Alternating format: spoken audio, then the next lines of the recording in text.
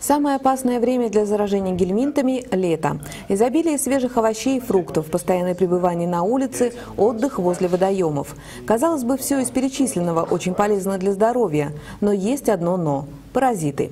По словам биолога Центра гигиены, в этом году они особо активны. В городской среде источниками являются домашние животные, беспризорные животные – кошки, собаки, крысы, также птицы – вот, и поэтому всегда ну, стоит помнить то, что э, присутствие гельминтов практически они повсеместно, и э, необходимо соблюдать меры личной гигиены. Чтобы не допустить проникновения паразитов в свой организм, недостаточно хорошо мыть руки и овощи.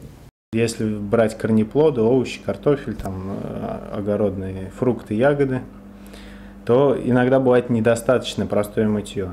Э, более эффективно их перед этим специально замачивать в простую воду на 15 минут. Это она более эффективно смывает яйца гельминтов с поверхности. Подцепить гельминтов можно везде – в песочнице, на огороде, на пляже, в детском саду и в собственной прихожей, куда мы приносим яйца гельминтов на подошвах обуви. Важно помнить, что паразиты, проникшие в организм, не вызывают особых недомоганий у человека, а выявить гельминты можно лишь сдав специальные анализы. Татьяна Елисеева, Виталий Немов. Наше время.